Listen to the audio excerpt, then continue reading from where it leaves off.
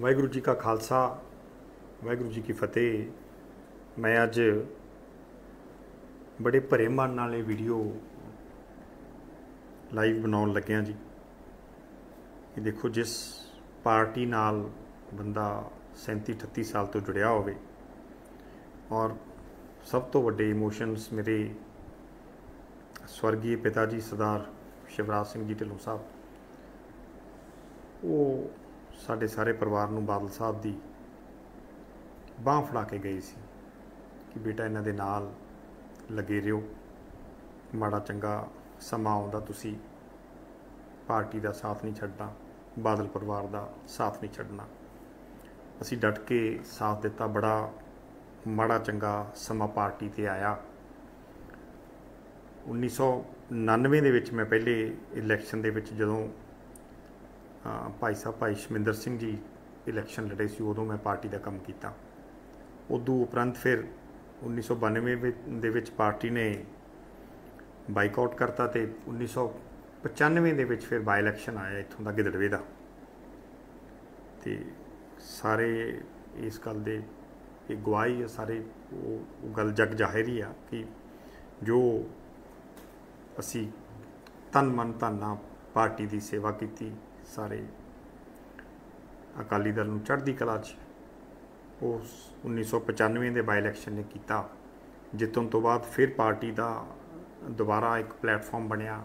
ਇੱਕ ਪਾਰਟੀ ਦੀ ਚੜ੍ਹਾਈ ਹੋਈ। ਤੇ 1997 ਦੇ ਵਿੱਚ ਇਸ ਬਾਈ ਇਲੈਕਸ਼ਨ ਤੋਂ ਬਾਅਦ ਪੰਜਾਬ ਦੇ ਵਿੱਚ ਸ਼੍ਰੋਮਣੀ ਅਕਾਲੀ ਦਲ ਦੀ ਸਰਕਾਰ ਬਣੀ ਤੇ ਜਿਹਦੇ ਤੇ ਬਾਦਲ ਸਾਹਿਬ ਪੰਜਾਬ ਦੇ ਮੁੱਖ ਮੰਤਰੀ ਬਣੇ। 2002 ਤੱਕ ਚਲੋ ਸਰਕਾਰ ਦਾ ਨਿਗਮ ਆਣਿਆ 2002 ਦੇ ਵਿੱਚ ਕੈਪਟਨ ਸਾਹਿਬ ਦੀ ਸਰਕਾਰ ਬਣੀ ਔਰ ਉਹਨਾਂ ਦੀ ਕੋਈ ਨਿੱਜੀ ਰੰਜਿਸ਼ ਕਰਕੇ ਜਿਹੜੇ ਵੀ ਨਾਲ ਸੀ, ਉਹਨਾਂ ਨੂੰ ਵੀ ਨਾਲ ਆਟੇ ਦੇ ਨਾਲ ਪੜੀਥਣ ਲੱਗਿਆ। ਸਾਡਾ ਵੀ ਉਦੋਂ ਬੜਾ ਨੁਕਸਾਨ ਕੀਤਾ ਤੇ ਪਰ ਅਸੀਂ ਡੋਲੇ ਨਹੀਂ, ਪਾਰਟੀ ਦੇ ਨਾਲ ਡਟ ਕੇ ਖੜੇ, ਬਾਦਲ ਪਰਿਵਾਰ ਦੇ ਨਾਲ ਡਟ ਕੇ ਖੜੇ। ਜਿੱਥੇ ਜਿੱਥੇ ਜ਼ਰੂਰਤ ਪਈ, ਜਦੋਂ ਵੀ ਬਾਦਲ ਸਾਹਿਬ ਦਾ, ਸੁਖਬੀਰ ਜੀ ਦਾ ਕੋਈ ਵੀ ਹੁਕਮ ਆਉਂਦਾ ਖਿੜੇ ਮੱਥੇ ਪ੍ਰਵਾਨ ਕਰਕੇ ਅਸੀਂ ਹਮੇਸ਼ਾ ਜਿੱਥੇ ਬੁਲਾਉਂਦੇ, ਉੱਥੇ ਜਾਂਦੇ। ਤੇ ਜੋ ਵੀ ਸਾਨੂੰ ਸੇਵਾ ਲਾਉਂਦੇ ਅਸੀਂ, ਉਹਨੂੰ ਸਿਰੇ ਚੜਾਉਂਦੇ 5 ਸਾਲ ਕੜੀ ਮਿਹਨਤ ਮੁਸ਼ਕਲ ਤੋਂ ਬਾਅਦ ਪਾਰਟੀ ਦੀ 2007 ਦੇ ਵਿੱਚ ਦੁਬਾਰਾ ਸਰਕਾਰ ਬਣਦੀ ਆ। ਚਲੋ, ਸਰਕਾਰ ਬਣ ਗਈ, ਕੰਮ ਠੀਕ ਚੱਲ ਰਿਹਾ ਸੀ। 2010 ਦੇ ਵਿੱਚ ਫੇਰ ਪਾਰਟੀ ਤੇ ਇੱਕ ਸੰਕਟ ਦੀ ਘੜੀ ਆਣ ਬਣੀ ਹੋਈ। ਜਦੋਂ ਸਰਦਾਰ ਮਨਪ੍ਰੀਤ ਸਿੰਘ ਬਾਦਲ ਸਾਹਿਬ ਇਹ ਹਲਕਾ ਛੱਡ ਕੇ ਇੱਕ ਨਵੀਂ ਪਾਰਟੀ ਬਣਾ ਲਈ ਤੇ ਪਾਰਟੀ ਦੇ ਅੰਦਰ ਹੀ ਉਹਨਾਂ ਨੇ ਇੱਕ ਬਗਾਵਤ ਖੜੀ ਕਰਤੀ। ਫਿਰ ਸਾਡੇ ਵਾਸਤੇ ਦੋ ਰਸਤੇ ਬਣ ਗਏ। ਇੱਕ ਸਰਦਾਰ ਮਨਪ੍ਰੀਤ ਸਿੰਘ ਬਾਦਲ ਸਾਹਿਬ ਬੰਨੀ ਜਾਂਦਾ ਸੀ ਤੇ ਦੂਸਰਾ ਸਰਦਾਰ ਸੁਖਬੀਰ ਸਿੰਘ ਜੀ ਬਾਦਲ ਸਾਹਿਬ ਬੰਨੀ ਜਾਂਦਾ ਸੀ। ਅਸੀਂ ਸਰਦਾਰ ਸੁਖਬੀਰ ਸਿੰਘ ਜੀ ਬਾਦਲ ਸਾਹਿਬ ਵਾਲਾ ਰਸਤਾ ਚੁਣਿਆ ਤੇ ਉਹਨਾਂ ਦੇ ਰਸਤੇ ਤੇ ਅਸੀਂ ਚੱਲੇ। 2012 ਦਾ ਇਲੈਕਸ਼ਨ ਇਸ ਤਰ੍ਹਾਂ ਲੱਗ ਰਿਹਾ ਸੀ ਜਿਵੇਂ ਪੀਪੀਪੀ ਦੀ ਸਰਕਾਰ ਬਣੂਗੀ, ਸਰਦਾਰ ਮਨਪ੍ਰੀਤ ਸਿੰਘ ਬਾਦਲ ਮੁੱਖ ਮੰਤਰੀ ਬਣ ਗਏ ਪਰ ਅਸੀਂ ਡੋਲੇ ਨਹੀਂ। ਸਰਦਾਰ ਸੁਖਬੀਰ ਸਿੰਘ ਜੀ ਬਾਲ ਸਾਹਿਬ ਦਾ ਡਟ ਕੇ ਸਾਥ ਦਿੱਤਾ। ਚਲੋ, ਪਰਮਾਤਮਾ ਦੀ ਬੜੀ ਮਿਹਰ ਹੋਈ ਔਰ ਫਿਰ ਦੁਬਾਰਾ ਅਕਾਲੀ ਦਲ ਦੀ ਸਰਕਾਰ ਬਣ ਗਈ। ਸਰਕਾਰ ਬਣਨ ਤੋਂ ਬਾਅਦ ਮੈਨੂੰ ਇਸ ਹਲਕੇ ਦੀ ਸੇਵਾ ਦਿੱਤੀ ਗਈ। ਮੁੱਖ ਸੇਵਾਦਾਰ ਵਜੇ ਮੈਨੂੰ ਇਸ ਹਲਕੇ ਦੇ ਵਿੱਚ ਗਿੱਦੜਵੇ ਦੇ ਵਿੱਚ ਮੈਨੂੰ ਥਾਪਿਆ ਗਿਆ। ਬੜੀ ਇਮਾਨਦਾਰੀ ਨਾਲ, ਨੇਕ ਨੀਤੀ ਨਾਲ, ਪਿਆਰ ਨਾਲ ਲੋਕਾਂ ਨੂੰ ਨਾਲ ਜੋੜ ਕੇ ਰੱਖਿਆ। ਕਦੇ ਬਾਦਲ ਸਾਹਿਬ ਦੀ ਪੱਗ ਨੂੰ ਸਰਦਾਰ ਸੁਖਬੀਰ ਸਿੰਘ ਜੀ ਬਾਦਲ ਸਾਹਿਬ ਦੀ ਪੱਗ ਨੂੰ ਕਦੇ ਦਾਗ ਨਹੀਂ ਲੱਗਣ ਦਿੱਤਾ। ਹਲਕੇ ਦੇ ਵਿੱਚ ਕਦੇ ਕੋਈ ਐਸੀ ਗੱਲ ਨਹੀਂ ਹੋਈ ਵੀ ਜਿਸ ਕਰਕੇ, ਮੇਰੇ ਕਰਕੇ ਕੋਈ ਪਾਰਟੀ ਦੀ ਬਦਨਾਮੀ ਹੋ ਗਈ ਹੋਵੇ, ਮੇਰੇ ਪਰਿਵਾਰ ਕਰਕੇ ਜਾਂ ਬਾਦਲ ਪਰਿਵਾਰ ਦੀ ਬਦਨਾਮੀ ਹੋ ਗਈ ਹੋਵੇ। ਬੜੀ ਇਮਾਨਦਾਰੀ ਨਾਲ, ਨੇਕ ਨੀਤੀ ਨਾਲ ਸੀ 5 ਸਾਲ ਸਿਆਸਤ ਕੀਤੀ 2017 ਦੇ ਇਲੈਕਸ਼ਨ ਲੜੇ। ਬੜਾ ਲੋਕਾਂ ਨੇ ਸਾਥ ਦਿੱਤਾ। ਪਹਿਲਾ ਇਲੈਕਸ਼ਨ ਮੈਂ 2017 ਚ ਲੜਿਆ। ਪਾਰਟੀ ਦੀ ਇਮੇਜ ਬੜੀ ਖਰਾਬ ਹੋ ਗਈ ਸੀ। ਕੁਝ ਬੇਅਦਬੀ ਦਾ ਮਾਹੌਲ ਬਣ ਗਿਆ ਸੀ। ਕੁਝ ਨਸ਼ਿਆਂ ਦੇ ਆਪਣਾ ਮੁੱਦੇ ਉੱਠ ਖੜੇ ਸੀ। ਉਹਦੇ ਕਰਕੇ ਪਾਰਟੀ ਦਾ ਗ੍ਰਾਫ ਕਾਫੀ ਡਿੱਗ ਪਿਆ ਸੀ। ਪਰ ਫਿਰ ਵੀ ਇਸ ਗਿੱਦੜ ਦੇ ਹਲਕੇ ਚੋਂ ਇਹ ਸਾਰਾ ਕੁਝ ਹੋਣ ਦੇ ਬਾਵਜੂਦ ਵੀ 49000 ਵੋਟ ਦੇ ਕਰੀਬ ਮੈਨੂੰ ਪਈ ਸੀ ਜੀ। ਤੇ ਪਰ ਚਲੋ 13 14000 ਤੇ ਅਸੀਂ ਹਾਰ ਗਏ ਉਦੋਂ, ਕਿਉਂਕਿ ਪਾਰਟੀ ਦਾ ਗ੍ਰਾਫ ਹੀ ਬੜਾ ਡਾਊਨ ਸੀ। ਉਸ ਤੋਂ ਬਾਅਦ 5 ਸਾਲ ਫਿਰ ਕਾਂਗਰਸ ਦੀ ਗਵਰਨਮੈਂਟ ਆਈ, ਕੈਪਟਨ ਸਾਹਿਬ ਫਿਰ ਮੁੱਖ ਮੰਤਰੀ ਬਣੇ। ਬੜੀ, ਕੈਪਟਨ ਸਾਹਿਬ ਨੇ ਵੀ ਬੜੇ ਸਾਡੇ ਤੇ ਪਰਚੇ ਵਗੈਰਾ ਕਰਾਏ, ਸਾਡਾ ਵਿਰੋਧੀ ਬੜਾ ਸਖਤ ਸੀ। ਤੇ ਚਲੋ, ਜੋ ਵੀ ਕੋਈ ਗੱਲਬਾਤ ਹੁੰਦੀ ਸੀ, ਮੈਂ ਫਿਰ ਵੀ ਵਰਕਰਾਂ ਨਾਲ ਡਟ ਕੇ ਖੜਾ। ਉਹਨਾਂ ਨੂੰ ਪਿੱਠ ਨਹੀਂ ਦਿਖਾਈ ਵੀ ਉਹਨਾਂ ਨੂੰ ਇਹ ਮਹਿਸੂਸ ਨਹੀਂ ਹੋਣ ਦਿੱਤਾ ਵੀ ਕੋਈ ਸਾਡੇ ਪਿੱਛੇ ਨਹੀਂ। ਸਾਡੇ ਤੇ ਪਰਚੇ ਵੀ ਹੋਏ, ਸਾਡੇ ਸਾਰੇ ਪਰਿਵਾਰ ਤੇ ਹੋਏ, ਮੇਰੇ ਭਰਾ ਤੇ ਹੋਏ, ਮੇਰੇ ਪੀਏ ਤੇ ਵੀ ਪਰਚੇ ਹੋਏ, ਸਾਰਿਆਂ ਤੇ ਹੋਏ, ਜੋ ਮੇਰੇ ਨਾਲ ਸਾਥ ਦਿੰਦੇ ਸੀ ਉਹਨਾਂ ਤੇ ਵੀ। ਪਰ ਕੋਈ ਡੋਲਿਆ ਨਹੀਂ, ਨਾਲ ਅਡੋਲ ਖੜੇ ਰਹੇ ਪਾਰਟੀ ਦੇ ਨਾਲ ਵੀ, ਚਲੋ, ਕੋਈ ਮਾੜਾ ਚੰਗਾ ਸਮਾਂ ਆਉਂਦਾ। ਉਸ ਤੋਂ ਬਾਅਦ 2022 ਦਾ ਇਲੈਕਸ਼ਨ ਆਇਆ, ਫਿਰ ਡਟ ਕੇ ਇਲੈਕਸ਼ਨ ਲੜਿਆ। ਬਹੁਤ ਵਰਕਰ ਸਹਿਬਾਨਾਂ ਨੇ, ਅਕਾਲੀ ਦਲ ਦੇ ਨੇ ਬਹੁਤ ਸਾਥ ਦਿੱਤਾ। 50000 ਦੇ ਕਰੀਬ ਵੋਟ ਪਈ। ਚਲੋ, ਕਿਸਮਤ ਦੇ ਵਿੱਚ ਨਹੀਂ ਲਿਖੀ ਸੀ, ਪਰ ਭਰਾਵਾਂ ਨੇ ਕੋਈ ਕਸਰ ਨਹੀਂ ਛੱਡੀ ਮੇਰਾ ਸਾਥ ਦੇਣ ਵਾਲੀ। ਇਸ ਹਲਕੇ ਦੇ ਜੋ, ਇਸ ਹਲਕੇ ਚੋਂ ਪਿਆਰ ਮਿਲਿਆ, ਉਹ ਸ਼ਬਦਾਂ ਦੇ ਵਿੱਚ ਬਿਆਨ ਕਰਨਾ ਬੜਾ ਔਖਾ। 50000 ਦੇ ਕਰੀਬ ਵੋਟ ਪੈਣੀ ਆਮ ਆਦਮੀ ਪਾਰਟੀ ਦੀ ਹਵਾ ਦੇ ਵਿੱਚ। ਇੱਕ ਬੜੀ, ਇਹ ਗੱਲ ਬੜੀ ਮਹਿਨਾ ਰੱਖਦੀ ਹੈ। ਕੱਲਾ ਇੱਥੋਂ ਹੀ ਆਮ ਆਦਮੀ ਪਾਰਟੀ ਦਾ ਕੈਂਡੀਡੇਟ ਹਾਰਿਆ ਸੀ, ਬਾਕੀ ਸਾਰੇ ਆਸੇ-ਪਾਸੇ ਆਮ ਆਦਮੀ ਪਾਰਟੀ ਦੇ ਐਮਐਲਏ ਬਣ ਗਏ ਸੀ ਇਵਨ ਕਿ ਬਾਲ ਸਾਹਿਬ ਵੀ ਹਾਰ ਗਏ ਸੀ। 1300 ਵੋਟ ਤੇ ਚਲੋ ਅਸੀਂ ਉਦੋਂ ਪਿੱਛੇ ਰਹਿ ਗਏ। ਫਿਰ ਵੀ ਨਾਲ ਉਹ ਜਿਵੇਂ ਸਾਰੇ ਵਰਕਰ ਸਹਿਬਾਨਾਂ ਦੇ ਪਾਰਟੀ ਦੇ ਨਾਲ ਡਟ ਕੇ ਖੜੇ, ਜੋ ਹੁਕਮ ਲੱਗਦਾ ਉਹ ਮੈਂ ਜਿਵੇਂ ਕੀਤਾ। ਉਸ ਤੋਂ ਬਾਅਦ ਅਚਨਚੇਤ ਜਨਵਰੀ ਦੇ ਵਿੱਚ ਮੈਨੂੰ ਬਾਲ ਸਾਹਿਬ ਬੁਲਾ ਕੇ ਪੁੱਛਦੇ ਆ ਵੀ, ਡਿੰਪੀ, ਤੂੰ ਮੈਨੂੰ ਡਾਊਟ ਹੋਇਆ ਸੀ ਕਿ ਮੈਂ ਉਹਨਾਂ ਨੂੰ ਪੁੱਛਿਆ ਵੀ ਬਾਲ ਸਾਹਿਬ ਮੈਨੂੰ ਐਂ ਲੱਗਦਾ ਵੀ ਜਿਵੇਂ ਮਨਪ੍ਰੀਤ ਬਾਦਲ ਨੇ ਵੀ ਇੱਥੇ ਕਾਫੀ ਸਰਗਰਮੀਆਂ ਵਧਾਈਆਂ ਵੀ ਵੀ ਉਹਨਾਂ ਦਾ ਕੀ ਗਤੀਵਿਧੀ ਹੈ ਜੀ ਵੀ ਤੁਹਾਡੇ ਧਿਆਨ 'ਚ ਕਹਿੰਦੇ ਹਾਂ ਡਿੰਪੀ, ਉਹ ਆਪਣੀ ਪਾਰਟੀ ਜੁਆਇਨ ਕਰਨਾ ਚਾਹੁੰਦੇ ਆ। ਮੈਂ ਕਿਹਾ ਜੀ ਜੀ ਆਇਆਂ ਨੂੰ। ਕਰ ਲੈਣ ਪਾਰਟੀ ਜੁਆਇਨ ਮੈਨੂੰ ਕੋਈ ਇਤਰਾਜ਼ ਨਹੀਂ। ਕਹਿੰਦੇ ਉਹਨਾਂ ਦੀ ਇਹ ਇੱਕ ਸ਼ਰਤ ਆ ਵੀ ਤੂੰ ਉਹ ਗਿੱਦੜਵੇ ਤੋਂ ਉਹਨਾਂ ਨੇ ਜੁਆਇਨ ਕਰਨਾ। ਕੋਈ ਗੱਲ ਨਹੀਂ ਜੀ, ਗਿੱਦੜਵੇ ਕਰ ਲੈਣ, ਚਲੋ। ਤੂੰ ਵੇਖ ਲੈ, ਕਹਿੰਦੇ ਸਿਆਸਤ ਕਰਨੀ ਆ ਕਿ ਨਹੀਂ ਕਰਨੀ? ਉਹ ਗੱਲ ਬੜੀ ਮੇਰੇ ਦਿਲ ਦੇ ਵਿੱਚ ਪਿੰਚ ਕੀਤੀ। ਮੈਂ ਕਿਹਾ, ਯਾਰ, ਐਡਾ ਰੁੱਖਾ ਜਵਾਬ ਮੈਨੂੰ ਵੈਸੇ ਹੀ ਕਹਿ ਦਿੰਦੇ ਵੀ ਤੂੰ ਮਨਪ੍ਰੀਤ ਦੇ ਪਿੱਛੇ ਲੱਗ ਜਾ ਜਾਂ ਚੱਲ ਡਿੰਪੀ ਸਾਡੇ ਫੈਮਿਲੀ ਦਾ ਇਹ ਮਸਲਾ। ਤੇ ਮੈਂ ਕਦੇ ਉਹਨਾਂ ਨੂੰ ਵੱਡਾ ਭਰਾ ਦਾ ਰੁਤਬਾ ਦੇ ਕੇ ਮੈਂ ਉਹਨਾਂ ਨੂੰ ਸਮਝਦਾ ਸੀ, ਇਸ ਦਾ ਸੁਖਬੀਰ ਸਿੰਘ ਜੀ ਬਾਲ ਸਾਹਿਬ ਨੂੰ ਮੈਂ ਕਦੇ ਉਹਨਾਂ ਨੂੰ ਮਨਾ ਨਹੀਂ ਕਰਦਾ ਸੀ। ਚਾਹੇ ਮੈਨੂੰ ਸਾਰਾ ਕੁਝ ਛੱਡ ਕੇ ਮੇਰਾ ਕਿੰਨਾ ਨੁਕਸਾਨ ਹੋਇਆ, ਮੇਰੇ ਮੇਰੇ ਬਿਜ਼ਨਸ ਦਾ ਹੋਇਆ, ਮੇਰੇ, ਮੇਰੀ ਫੈਮਿਲੀ ਦਾ ਹੋਇਆ, ਮੈਂ ਉਹਨਾਂ ਨੂੰ ਟਾਈਮ ਨਹੀਂ ਦੇ ਸਕਿਆ, ਮੇਰੇ ਪੈਸੇ ਦਾ ਹੋਇਆ, ਪਰ ਮੈਂ ਫਿਰ ਵੀ ਉਹਨਾਂ ਦੇ ਕਦੇ ਕਿਸੇ ਗੱਲ ਨੂੰ ਮੈਂ ਜਵਾਬ ਨਹੀਂ ਦੇ ਸਕਦਾ ਸੀ। ਮੈਨੂੰ ਕਹਿ ਦਿੰਦੇ ਇੱਕ ਵਾਰੀ ਸੱਦ ਕੇ ਵੀ ਤੂੰ ਯਾਰ ਨਹੀਂ ਇਲੈਕਸ਼ਨ ਲੜਨਾ, ਮੈਂ ਹਟ ਜਾਂਦਾ ਪਿੱਛੇ। ਫਿਰ ਮੈਨੂੰ ਕਹਿੰਦੇ ਵੀ ਤੂੰ ਐਂ ਕਰ ਫਿਰ, ਜੇ ਤੂੰ ਸਿਆਸਤ ਕਰਨੀ ਆ ਤੇ ਤਲਵੰਡੀ ਸਾਬੋ ਚਲਾ ਜਾ। ਮੈਂ ਕਿਹਾ ਜੀ, ਮੇਰੀ ਸਿਆਸਤ ਕਾਦੀ ਆ? ਤੁਸੀਂ ਮੈਨੂੰ ਉਂਗਲੀ ਫੜ ਕੇ ਸਿਆਸਤ 'ਚ ਲੈ ਕੇ ਆਏ ਸੀ। ਤੇ ਅੱਜ ਤੁਸੀਂ ਮੈਨੂੰ ਬਾਹਰ ਤੁਰੀ ਜਾਂਦੇ ਮੈਂ ਜਾ ਵੜੂੰਗਾ। ਚਲੋ, ਕੋਈ ਗੱਲ ਨਹੀਂ ਜੀ। ਮੈਂ ਤਲਵੰਡੀ ਸਾਬੋ ਤੋਂ ਮੈਂ ਕਿਹਾ ਜੀ, ਮੈਂ ਕਿਹਾ ਮੈਂ ਜਾਂਦਾ ਨਹੀਂ। ਤੇ ਮੈਂ ਆਪਦੇ ਘਰੇ ਬੈਠ ਜੂਗਾ ਜੀ, ਤੁਸੀਂ ਲੈ ਆਓ ਸਰਦਾਰ ਮਨਪ੍ਰੀਤ ਸਿੰਘ ਬਾਲ ਸਾਹਿਬ ਨੂੰ। ਦੋ ਤਿੰਨ ਦਿਨਾਂ ਬਾਅਦ ਮੈਨੂੰ ਦੁਬਾਰਾ ਟੈਲੀਫੋਨ ਆਉਂਦਾ ਵੀ ਮੈਂ ਡਿੱਬੀ ਤੈਨੂੰ ਮਿਲਣ ਆਉਣਾ। ਮੈਂ ਕਿਹਾ, ਵੀਰ ਜੀ, ਮੈਂ ਮੈਂ ਹੀ ਆ ਜਾਣਾ ਜੀ, ਚਲੋ ਤੁਸੀਂ ਬਹੁਤ ਵੱਡੇ ਬੰਦੇ ਹੋ, ਮੈਂ ਤਾਂ ਫਿਰ ਵੀ ਤੁਹਾਡਾ ਛੋਟਾ। ਮੈਂ ਉਹਨਾਂ ਕੋਲੇ ਘਰੇ ਗਿਆ। ਘਰੇ ਜਾ ਕੇ ਮੈਂ ਕਿਹਾ, ਦੱਸੋ ਜੀ ਕਿਉਂ ਕਹਿੰਦੇ, ਯਾਰ, ਮੈਂ ਤਾਂ ਵੈਸੇ ਹੀ ਮਜ਼ਾਕ ਕਰਦਾ ਸੀ। ਤੇ ਤੂੰ ਇਸ ਗੱਲ ਨੂੰ ਸੀਰੀਅਸ ਲੈ ਗਿਆ। ਮੈਂ ਕਿਹਾ ਜੀ, ਚਲੋ, ਮੈਨੂੰ ਇਹ ਗੱਲ ਤੁਹਾਡੀ ਅੱਛੀ ਨਹੀਂ ਲੱਗੀ ਤੇ ਮੈਨੂੰ ਇਸ ਕਰਕੇ ਮੈਨੂੰ ਥੋੜਾ ਜਿਹਾ ਦੁੱਖ ਲੱਗਿਆ ਕਿ ਜਿਹੜੇ ਬੰਦੇ ਦੀ ਆਪਾਂ ਰੱਬ ਵਾਂਗੂ ਪੂਜਾ ਕਰਦੇ ਹੋਈਏ, ਉਹ ਐ ਇੱਕਦਮ ਤੋੜ ਕੇ ਜਵਾਬ ਦੇ ਦੇ। ਬੜਾ ਇੱਕ ਮਨ ਦੇ ਵਿੱਚ ਇੱਕ ਇੱਕ ਸੱਟ ਲੱਗਦੀ ਆ। ਸੋ ਚਲੋ, ਕੋਈ ਗੱਲ ਨਹੀਂ, ਕਹਿੰਦੇ ਨਹੀਂ ਨਹੀਂ, ਤੂੰ ਮੇਰੀ ਕਿਚਨ ਕੈਬਨਿਟ ਦਾ ਬੰਦਾ, ਤੂੰ ਹੀ ਹਲਕਾ ਚਲਾਏਗਾ, ਸਭ ਕੁਝ ਤੂੰ ਹੀ ਕਰੇਗਾ, ਤੂੰ ਅੱਗੇ ਲੱਗ, ਤੂੰ ਦੁਬਾਰਾ ਹਲਕਾ ਸੰਭਾਲ। ਐਵੇਂ ਕੋਈ ਮਨ ਦੇ ਵਿੱਚ ਗੱਲ ਨਹੀਂ ਰੱਖਣੀ। ਮੈਂ ਫਿਰ ਚੱਲ ਪਿਆ ਜੀ, ਮੈਂ ਕਿਹਾ ਚਲੋ ਜੀ, ਜੋ ਤੁਹਾਡਾ ਹੁਕਮ, ਕਿਉਂਕਿ ਮੈਂ ਤਾਂ ਉਹਨਾਂ ਨੂੰ ਵੱਡੇ ਭਰਾ ਤੋਂ ਵੱਧ ਇੱਕ ਤਰ੍ਹਾਂ ਦਾ ਗੁਰੂ ਹੀ ਸੀ ਮੇਰੇ। ਮੈਂ ਉਹਨਾਂ ਨੂੰ ਰਤਬਾ ਦਿੰਦਾ ਸੀ। ਮੈਂ ਫਿਰ ਚੱਲ ਪਿਆ ਹਲਕੇ ਦੇ ਵਿੱਚ ਜੀ। ਫਿਰ ਚੱਲਦੇ ਗਏ। ਫਿਰ ਅਚਨਚੇਤ ਬਾਈ ਇਲੈਕਸ਼ਨ ਆ ਗਿਆ ਜੀ। ਹੁਣ ਫਿਰ ਦੁਬਾਰਾ ਮੈਂ ਪੁੱਛਿਆ, ਮੈਂ ਮੈਂ ਕਿਹਾ ਜੀ ਆਪਣਾ ਪ੍ਰਧਾਨ ਸਾਹਿਬ ਕੀ ਹੁਕਮ ਆ? ਮੈਨੂੰ ਕਹਿੰਦੇ, ਕੋਈ ਨਹੀਂ, ਦੱਸ ਦਾਂਗੇ ਜੀ। ਚਲੋ ਕਹਿੰਦੇ, ਤਿਆਰੀਆਂ ਕਰੋ ਹਲਕੇ 'ਚ। ਅਸੀਂ ਤਿਆਰੀਆਂ ਸਟਾਰਟ ਕਰਤੀਆਂ, ਆਪਦੀਆਂ ਕਰਨੀਆਂ।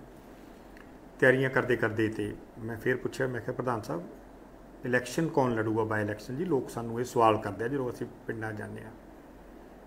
ਤੇ ਕੋਈ ਨਹੀਂ ਕਹਿੰਦੇ, ਆਪਾਂ ਕਰ ਲਾਂਗੇ। ਬੀਬਾ ਜੀ ਨੇ ਇੱਕ ਦਿਨ ਅਨਾਉਂਸ ਹੀ ਕਰਤਾ ਵੀ ਇੱਥੋਂ ਸੁਖਵੀਰ ਜੀ ਇਲੈਕਸ਼ਨ ਲੜਨਗੇ। ਮੈਂ ਕਿਹਾ ਜੀ, ਜੇ ਸੁਖਵੀਰ ਜੀ ਲੜਨਗੇ ਤਾਂ ਮੋਸਟ ਵੈਲਕਮ ਸਾਨੂੰ ਕੋਈ ਇਤਰਾਜ਼ ਨਹੀਂ। ਜੀ ਆਉਂਦਿਆਂ ਨੂੰ ਅਸੀਂ ਆਪਦੇ ਨਾਲੋਂ ਵੀ ਵੱਧ ਮਿਹਨਤ ਕਰਕੇ ਉਹਨਾਂ ਨੂੰ ਜਿਤਾਵਾਂਗੇ। ਅਗਲੇ ਦਿਨ ਮੈਨੂੰ ਕਹਿੰਦੇ, ਮੈਂ ਤਾਂ ਲੜਦਾ ਨਹੀਂ। ਤੂੰ ਲੜੇਂਗਾ ਇਲੈਕਸ਼ਨ। ਮੈਂ ਕਿਹਾ ਜੀ, ਮੈਂ ਲੜ ਲੂੰਗਾ ਫਿਰ ਇਹ ਗੱਲਾਂ ਆਫ ਦਾ ਰਿਕਾਰਡ ਚੱਲੀਆਂ। ਫਿਰ ਜਦੋਂ ਪੂਰਾ ਇਲੈਕਸ਼ਨ ਗਰਮ ਹੋ ਗਿਆ ਭੱਕ ਗਿਆ, ਮੈਂ ਫਿਰ ਉਹਨਾਂ ਨੂੰ ਕਿਹਾ, ਮੈਂ ਕਿਹਾ ਜੀ ਓਪਨਲੀ ਤੁਸੀਂ ਜੋ ਵੀ ਕਹਿਣਾ ਨਾ, ਜਾਂ ਆਪ ਲੜੋ ਜਾਂ ਮੈਨੂੰ ਲੜਾਓ, ਲੋਕ ਬੜੇ ਭੰਬਲ ਭੂਸੇ ਚ ਪੈ ਪੈ ਚੁੱਕੇ ਆ ਵੀ ਕੌਣ ਇਲੈਕਸ਼ਨ ਲੜੂਗਾ। ਕਿਉਂਕਿ ਬੀਬਾ ਜੀ ਨੇ ਉਹ ਬਿਆਨ ਦਿੱਤਾ। ਨਹੀਂ ਕਹਿੰਦੇ ਆਪਾਂ ਕਰ ਲਾਂਗੇ ਕੋਈ ਨਹੀਂ। In the meantime Sardar Manpreet Singh Badal Sahib ਚੱਲ ਪਏ। ਲੋਕਾਂ ਨੂੰ ਹੋਰ ਡਾਊਟ ਹੋ ਗਿਆ ਵੀ ਹੋ ਸਕਦਾ ਵੀ ਇੱਥੋਂ ਸਰਦਾਰ ਮਨਪ੍ਰੀਤ ਸਿੰਘ ਬਾਦਲ ਸਾਹਿਬ ਨੂੰ ਇਲੈਕਸ਼ਨ ਲੜਾਉਣ। ਕਿਉਂਕਿ ਉਹ ਘਰਾਂ 'ਚ ਲੋਕਾਂ ਦੇ ਜਾਂਦੇ ਆ। ਬੀਜੇਪੀ ਦੇ ਕੈਂਡੀਡੇਟ ਆ। ਬੀਜੇਪੀ ਦੇ ਵਿੱਚ ਸ਼ਾਮਲ ਕਿਸੇ ਨੂੰ ਕਰਦੇ ਨਹੀਂ। ਚਾਹ ਪੀ ਕੇ ਆ ਜਾਂਦੇ ਆ, ਲੋਕਾਂ ਨੂੰ ਨਾਲ ਲੈ ਲੈਂਦੇ ਆ। ਇਸ ਗੱਲ ਤੋਂ ਲੋਕਾਂ ਦੇ ਅੰਦਰ ਡਾਊਟ ਕ੍ਰੀਏਟ ਹੋਣ ਲੱਗ ਪਿਆ। ਮੇਰੇ ਕੋਲੇ ਲੋਕ ਆਉਣ ਲੱਗ ਪਏ, ਜਿਹੜੇ ਮੇਰੇ ਪਿੰਡਾਂ ਦੇ, ਜਿਹੜੇ ਮੇਰੇ ਨਾਲ ਲੋਕ ਜੁੜੇ ਹੋਏ ਸੀ ਦਿਲੋਂ। ਉਹ ਆ ਕੇ ਕਹਿਣ ਲੱਗ ਪਏ, ਬਾਈ ਆਪਣੇ ਨਾਲ ਕੋਈ ਨਾ ਕੋਈ ਧੋਖਾ ਹੋਊਗਾ। ਵੀ ਸਰਦਾਰ ਮਨਪ੍ਰੀਤ ਸਿੰਘ ਬਾਦਲ ਸਾਹਿਬ ਇੰਨੇ ਸਰਗਰਮਾ ਤੇ ਤੁਸੀਂ ਸੁਖਬੀਰ ਸਿੰਘ ਬਾਲ ਸਾਹਿਬ ਨਾਲ ਗੱਲ ਕਰ ਲਓ ਵੀ ਸਾਨੂੰ ਕੋਈ ਗੱਲ ਮਤਲਬ ਕਿ ਠੀਕ ਨਹੀਂ ਨਜ਼ਰ ਆ ਰਹੀ ਜੋ ਹਲਕੇ ਦੇ ਵਿੱਚ ਚੱਲ ਰਿਹਾ। ਤੇ ਤੁਸੀਂ ਗੱਲ ਕਰੋ। ਮੈਂ ਸੁਖਬੀਰ ਜੀ ਨਾਲ ਗੱਲ ਕੀਤੀ, ਮੈਂ ਕਿਹਾ ਜੀ, ਆਪਣੇ ਪਿੰਡਾਂ ਦੇ ਪ੍ਰੋਗਰਾਮ ਬਣ ਗਏ ਆ, ਇਸ ਤਰ੍ਹਾਂ ਇਸ ਤਰ੍ਹਾਂ ਕਰਕੇ ਆਪਾਂ ਜਾਣਾ ਪਿੰਡਾਂ 'ਚ। ਮੈਂ ਚਾਰ ਪਿੰਡ ਵੀ ਕਢਾਇਆ ਨਾਲ, ਅਸੀਂ ਚੱਲ ਪਏ ਸੀ ਪਿੰਡਾਂ ਦੇ ਵਿੱਚ। ਬੰਦਿਆਂ ਦੀ ਡਿਊਟੀਆਂ ਵੀ ਲਾਤੀਆਂ ਸੀ। ਤੇ ਇਸ ਤਰ੍ਹਾਂ ਕਰਕੇ ਆ ਹਾਲਾਤ ਆ ਜੀ। ਮਨਪ੍ਰੀਤ ਜੀ ਪਿੰਡਾਂ ਦੇ ਵਿੱਚ ਜਾ ਰਹੇ ਆ, ਸਭ ਕੁਝ ਕਰ ਰਹੇ ਆ। ਵੀ ਕਿਤੇ ਉਹਨਾਂ ਨੇ ਆ ਕੇ ਜੇ ਇਲੈਕਸ਼ਨ ਲੜਨਾ ਤਾਂ ਮੈਨੂੰ ਹੁਣ ਦੱਸ ਦਿਓ। ਕਿਉਂਕਿ ਮੈਂ ਵੀ ਉਨੀ ਮਿਹਨਤ ਕਰੀ ਜਾਣਾ ਜੀ ਮੇਰਾ ਵੀ ਖਰਚ ਹੋ ਰਿਹਾ। ਤੇ ਜੇ ਕੋਈ ਇਹੋ ਜੀ ਗੱਲਬਾਤ ਆ ਤਾਂ ਮੈਨੂੰ ਦੱਸ ਦਿਓ। ਨਹੀਂ ਨਹੀਂ ਨਹੀਂ ਕਹਿੰਦੇ ਇਹੋ ਜੀ ਕੋਈ ਕੋਈ ਗੱਲਬਾਤ ਨਹੀਂ। ਫਿਰ ਮੈਂ ਕਿਹਾ ਜੀ ਉਹਦੇ ਅਗੇਂਸਟ ਕੁਝ ਕਹੋ ਤੁਸੀਂ। ਲਾਈਨ ਖਿੱਚੋ ਵੀ ਬੀਜੇਪੀ ਨਾਲ ਆਪਣਾ ਕੋਈ ਕੋਈ ਗੱਲਬਾਤ ਨਹੀਂ। ਤੁਸੀਂ ਉਹ ਵੀ ਕੁਝ ਨਹੀਂ ਕਹਿ ਰਹੇ। ਫਿਰ ਤੁਹਾਨੂੰ ਮੈਂ ਇਹ ਇਹ ਕਹਿ ਰਿਹਾ ਵੀ ਤੁਸੀਂ ਕੈਂਡੀਡੇਟ ਅਨਾਉਂਸ ਕਰ ਦਿਓ ਜਾਂ ਆਪ ਦਾ ਕਰ ਦਿਓ ਜਾਂ ਮੇਰਾ ਕਰ ਦਿਓ। ਮੇਰਾ ਕਰੋਗੇ, ਜੇ ਤੁਸੀਂ ਆਉਣਾ ਹੋਇਆ ਮੈਂ ਬੈਕ ਆਊਟ ਕਰ ਜੂਗਾ, ਤੁਸੀਂ ਲੜ ਲਿਓ। ਇਹ ਵੀ ਨਹੀਂ ਤੁਸੀਂ ਕਰ ਰਹੇ। ਮੈਨੂੰ ਇਹ ਡਾਊਟ ਕ੍ਰੀਏਟ ਹੋ ਗਿਆ ਵੀ ਮੈਨੂੰ ਆਪਦੇ ਆਪ ਨੂੰ ਇਹ ਫੀਲ ਹੋਣ ਲੱਗ ਪਿਆ ਕਿ ਸੁਖਬੀਰ ਜੀ ਦੀ ਪਤਾ ਨਹੀਂ ਕੀ ਮਜਬੂਰੀ ਆ, ਵੀ ਹੋ ਸਕਦਾ ਵੀ ਮੈਂ ਇਹਨਾਂ ਦੇ ਭਰਾਵਾਂ ਦੇ ਪਿਆਰ ਦੇ ਵਿੱਚ ਕੋਈ ਰੋੜਾ ਬਣ ਰਿਹਾ। ਮੈਨੂੰ ਇਹ ਆਪਦੇ ਆਪ ਨੂੰ ਫੀਲ ਹੋਇਆ। ਮੈਂ ਫਿਰ ਬੈਠ ਕੇ ਸਾਰੇ ਵਰਕਰ ਸਹਿਬਾਨਾਂ ਨਾਲ ਗੱਲ ਕੀਤੀ ਵੀ ਆਪਾਂ ਨੂੰ ਕੀ ਕਰਨਾ ਚਾਹੀਦਾ। ਉਹ ਕਹਿੰਦੇ ਜੀ ਆਪਾਂ ਰੈਜ਼ਿਗਨੇਸ਼ਨ ਦੇ ਕੇ ਬਾਈ ਜੀ ਘਰੇ ਬੈਠੋ।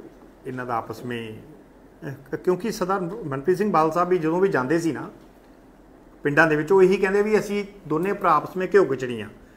ਤੇ ਸਰਦਾਰ ਸੁਖਬੀਰ ਸਿੰਘ ਬਾਦਲ ਸਾਹਿਬ ਨੇ ਵੀ ਇਹ ਗੱਲ ਕਹੀ ਹੈ ਵੀ ਕਿ ਮਤਲਬ ਕਿ ਸਾਡੀ ਦੂਜੇ ਤੇ ਦਿਨ ਗੱਲ ਹੁੰਦੀ ਆ, ਸਾਡਾ ਆਪਸ ਵਿੱਚ ਬਹੁਤ ਅੱਛਾ ਰਿਲੇਸ਼ਨ ਆ। ਤੇ ਜਦੋਂ ਇਹ ਸਾਰਾ ਕੁਝ ਠੀਕ ਆ ਤਾਂ ਫਿਰ ਮੈਂ ਕਿਹਾ ਜੀ, ਮੈਨੂੰ ਹੀ ਬਾਹਰ ਹੋਣਾ ਚਾਹੀਦਾ, ਫੇਰ ਹੀ ਇਹ ਹੋਣਗੇ ਦੋਨੇ ਜਣੇ? ਕਿਉਂਕਿ ਜਿੰਨਾ ਚਿਰ ਮੈਂ ਵਿੱਚ ਰਹੂੰ ਇੱਕ ਨਹੀਂ ਹੋ ਸਕਦੇ। ਇਸ ਕਰਕੇ ਫਿਰ ਅਸੀਂ ਸਾਰਿਆਂ ਨੇ ਇਹ ਮਨ ਬਣਾਇਆ। ਵੀ ਇਸ ਚੱਕੀ ਦੇ ਵਿੱਚ ਆਪਾਂ ਨਹੀਂ ਪਿਸਣਾ। ਵੀ ਮੈਂ ਇਹ ਸਿਆਸਤ ਦੀ ਭੇਟ ਨਹੀਂ ਚੜਨਾ ਚਾਹੁੰਦਾ। ਮੇਰਾ ਮਤਲਬ ਕਿ ਇੰਨਾ ਇੰਨਾ ਪ੍ਰੈਸ਼ਰ ਝੱਲਣ ਦਾ ਮੇਰਾ ਮਾਦਾ ਹੈ ਨਹੀਂ। ਇਸ ਕਰਕੇ ਫਿਰ ਮੈਂ ਮਨ ਬਣਾਇਆ ਵੀ ਆਪਾਂ ਬੈਕ ਆਊਟ ਕਰੋ। ਪਰ ਮੈਂ ਇੰਨੀ ਗੱਲ ਜ਼ਰੂਰ ਦੱਸ ਦੇਣਾ ਜੀ ਕਿ ਮੈਂ, ਮੈਨੂੰ ਲੋਕ ਬੜੇ ਕਹਿਣਗੇ ਵੀ ਤੂੰ ਗਦਾਰੀ ਕੀਤੀ, ਤੂੰ ਪਾਰਟੀ ਦੇ ਪਿੱਠ 'ਚ ਛੁਰਾ ਮਾਰਿਆ, ਐਂ ਕੀਤਾ, ਇਧਰੋਂ ਲਾਲਚ ਆ ਗਿਆ। ਉਦੋਂ ਆਪਦੇ ਦਿਲ ਤੇ ਹੱਥ ਰੱਖ ਕੇ ਕਹਿਣਾ, ਮੈਨੂੰ ਕੋਈ ਲਾਲਚ ਨਹੀਂ, ਕੋਈ ਮੈਨੂੰ ਇਹੋ ਜੀ ਗੱਲ ਨਾ ਨਾ ਹੀ ਮੈਂ ਕੋਈ ਗਦਾਰੀ ਕੀਤੀ ਆ। ਮੈਂ ਤਾਂ ਭਰੇ ਮਨ ਨਾਲ ਤੁਹਾਨੂੰ ਮੈਂ ਸਹੀ ਗੱਲ ਦੱਸਾਂ, ਪਾਰਟੀ ਛੱਡਣੀ ਬਹੁਤ ਔਖੀ ਹੈ, ਜਿਹਦੀ 37 38 ਸਾਲ ਸੇਵਾ ਕੀਤੀ ਹੋਵੇ। ਮਾੜੇ ਚੰਗੇ ਸਮਿਆਂ ਵਿੱਚ ਦੀ ਗੁਜ਼ਰਿਆ ਹੋਵਾਂ, ਇੱਕੋ ਪਰਿਵਾਰ ਦੇ ਨਾਲ ਅਟੈਚ ਹੋਈਏ, ਬਹੁਤ ਔਖਾ ਛੱਡਣਾ। ਲਿਖਣ ਵਾਲੇ 2 ਮਿੰਟ 'ਚ 1 ਮਿੰਟ ਲਿਖ ਦਿੰਦੇ ਆ, ਪਰ ਮੈਂ ਕੋਈ ਗਦਾਰੀ ਨਹੀਂ ਕੀਤੀ। ਮੈਂ ਆਪਦੇ ਘਰੇ ਬੈਠਣ ਵਾਸਤੇ ਜਾ ਰਿਹਾ, ਪਾਰਟੀ ਛੱਡ ਕੇ, ਜਿਹਨੂੰ ਬਾਦਲ ਸਾਹਿਬ ਦਾ ਦਿਲ ਕਰਦਾ। ਬਹੁਤ ਪਿਆਰ ਰਿਹਾ ਉਹਨਾਂ ਨਾਲ। ਸਾਡੀ ਯਾਰੀ 36 37 ਸਾਲ ਤੋਂ ਸਾਡੀ ਯਾਰੀ ਸੀ। ਪਰਿਵਾਰ ਦੇ, ਪਰਿਵਾਰਵਾਰ ਜਿਹਨੂੰ ਕਹਿ ਦਿੰਨੇ ਆ ਉਹਦੇ ਪੇਟ ਚੜ ਗਈ। ਇਸ ਕਰਕੇ ਉਹਨਾਂ ਨੇ ਮੈਥੋਂ ਅੱਖਾਂ ਫੇਰ ਲੀਆਂ ਮੈਂ ਤਾਂ ਬਹੁਤ ਪਿਆਰ ਕੀਤਾ ਸੀ, ਕੋਈ ਕਸਰ ਨਹੀਂ ਛੱਡੀ ਸੀ ਬਾਲ ਸਾਹਿਬ ਨਾਲ ਪਿਆਰ ਕਰਨ ਵਾਲੀ। ਹਾਂ, ਮੈਂ ਇੰਨੀ ਗੱਲ ਜ਼ਰੂਰ ਕਹੂੰਗਾ, ਮੇਰੇ ਜਿੰਨੇ ਵੀ ਭਰਾ ਮੇਰੇ ਨਾਲ ਅੱਜ ਖੜੇ ਆ, ਮੇਰੇ ਨਾਲ ਆਏ ਆ ਅੱਜ ਹਮਦਰਦੀ ਕਰਨ ਵੀ ਬਾਈ ਜੀ ਕਿਉਂ ਰੈਜ਼ਿਗਨੇਸ਼ਨ ਦੇਤਾ, ਕੀ ਗੱਲ ਬਣ ਗਈ? ਉਹਨਾਂ ਨੂੰ ਵੀ ਬੇਨਤੀ ਕਰਦਾ ਕਿ ਮੈਂ ਸਿਰਫ ਅੱਜ ਇੱਕ ਰੈਜ਼ਿਗਨੇਸ਼ਨ ਦੇ ਰਿਹਾ, ਮੈਂ ਆਪ ਦਾ ਮਨ ਹਲਕਾ ਕਰ ਰਿਹਾ। ਕਿਉਂਕਿ ਇਦੋਂ ਵੱਧ ਪ੍ਰੈਸ਼ਰ ਮੇਰੇ ਤੇ ਬਰਦਾਸ਼ਤ ਨਹੀਂ ਹੁੰਦਾ, ਲੋਕ ਤੰਗ ਕਰਦੇ ਆ, ਉਹ ਕੋਈ ਰਸਤਾ ਨਹੀਂ ਦਿਖਾ ਰਹੇ ਵੀ ਕੀ ਕਰਨਾ। ਆਪਾਂ ਜੋ ਵੀ ਕੋਈ ਫੈਸਲਾ ਕਰਾਂਗੇ, ਮੈਂ ਮੇਰੇ ਛੋਟੇ ਤੋਂ ਛੋਟੇ ਭਰਾ ਨੂੰ ਜਿਹੜੇ ਮੇਰੇ ਖਾਤਰ ਕੰਮ ਕਰਦੇ ਸੀ, ਪਾਰਟੀ ਖਾਤਰ ਕੰਮ ਕਰਦੇ ਸੀ ਅਗਰ ਕਿਸੇ ਪਾਸੇ ਜਾਣ ਦਾ ਮਨ ਬਣਾਉਂਗਾ ਜਾਂ ਕੋਈ ਜਾਊਂਗਾ, ਤਾਂ ਛੋਟੇ ਤੋਂ ਛੋਟੇ ਬੰਦੇ ਨਾਲ ਵੀ ਮੈਂ ਗੱਲ ਕਰਕੇ, ਜੋ ਛੋਟਾ ਵਰਕਰ ਆ, ਉਹਦੇ ਨਾਲ ਵੀ ਰਹਿ ਕਰਕੇ, ਗੱਲ ਕਰਕੇ ਫਿਰ ਆਪਾਂ ਫੈਸਲਾ ਲਵਾਂਗੇ। ਇਹ ਨਾ ਸੋਚਿਓ ਕਿ ਮੈਂ ਤੁਹਾਡੇ ਨਾਲ ਰਹਿ ਕਰੇ ਤੋਂ ਬਿਨਾਂ ਹੀ ਕੋਈ ਫੈਸਲਾ ਲੈ ਕੇ ਤੇ ਮੈਂ ਆਪਦਾ ਆਪਦਾ ਫਿਊਚਰ ਮੈਂ ਸਿਕਿਉਰ ਕਰ ਲਿਆ ਸੋ ਇਹੋ ਜੀ ਕੋਈ ਗੱਲਬਾਤ ਨਹੀਂ। ਮੇਰਾ ਫਿਊਚਰ ਬਹੁਤ ਸਕੇਅਰ ਆ। ਬਾਬੇ ਦੀ ਬੜੀ ਕਿਰਪਾ। ਉਸ ਪਰਮਾਤਮਾ ਦੀ ਕੋਈ ਕਿਸੇ ਕਿਸਮ ਦੀ ਭੁੱਖ ਨਹੀਂ। ਸਿਰਫ ਮੈਨੂੰ ਆਪਦੇ ਆਪ ਨੂੰ ਇੱਥੇ ਬੜੀ ਕੁੱਟਣ ਮਹਿਸੂਸ ਹੋਣ ਲੱਗ ਪਈ ਸੀ। ਇਸ ਪਾਰਟੀ ਦੇ ਵਿੱਚ ਮੈਨੂੰ ਸਮਝ ਨਹੀਂ ਆ ਰਿਹਾ ਸੀ ਕਿ ਮੈਂ ਕੀ ਕਰਾਂ। ਇਸ ਕਰਕੇ ਮੈਂ ਇਹੀ ਬਿਹਤਰ ਸਮਝਿਆ। ਸੋ ਅਗਰ ਮੈਥੋਂ ਕੋਈ ਤੁਹਾਡੇ ਪਰਿਵਾਰ ਦੇ ਖਿਲਾਫ ਕੋਈ ਵੱਧ ਘੱਟ ਬੋਲਿਆ ਗਿਆ ਹੋਵੇ ਮੈਂ ਉਸ ਗੱਲ ਦੀ ਮਾਫੀ ਚਾਹਾਂਗਾ ਕਿ ਜਿਨ੍ਹਾਂ ਨੂੰ ਇੰਨੇ ਪਿਆਰ, ਸਤਿਕਾਰ ਨਾਲ ਇਸੇ ਮੂੰਹ ਨਾਲ ਜਿਨ੍ਹਾਂ ਦੀਆਂ ਇੰਨੀਆਂ ਤਾਰੀਫਾਂ ਕੀਤੀਆਂ ਹੋ ਕਦੇ ਜ਼ਿੰਦਗੀ 'ਚ ਨਾ ਸੋਚਿਓ ਕਿ ਮੈਂ ਮਤਲਬ ਕਿ ਤੁਹਾਡੇ ਬਾਰੇ ਮੈਂ ਕੋਈ ਕਦੇ ਮੰਦਾ ਚੰਗਾ ਕਹੂੰਗਾ। ਹਮੇਸ਼ਾ ਜਦੋਂ ਵੀ ਮੇਰੇ ਮੂੰਹ 'ਚੋਂ ਕੋਈ ਅਲਫਾਜ਼ ਤੁਹਾਡੇ ਪਰਿਵਾਰ ਬਾਰੇ, ਤੁਹਾਡੇ ਬਾਰੇ ਨਿਕਲੂਗਾ, ਚੰਗਾ ਹੀ ਨਿਕਲੂਗਾ। ਸੋ ਜਿੰਨੀ ਕੁ ਸੇਵਾ ਮੈਥੋਂ ਹੋ ਸਕੀ ਜੀ ਮੈਂ ਕੀਤੀ, ਮੈਨੂੰ ਮਾਫ ਕਰਿਓ। ਬਹੁਤ ਬਹੁਤ ਤੁਹਾਡਾ ਧੰਨਵਾਦ। ਵਾਹਿਗੁਰੂ ਜੀ ਕਾ ਖਾਲਸਾ ਵਾਹਿਗੁਰੂ ਜੀ ਕੀ ਫਤਿਹ।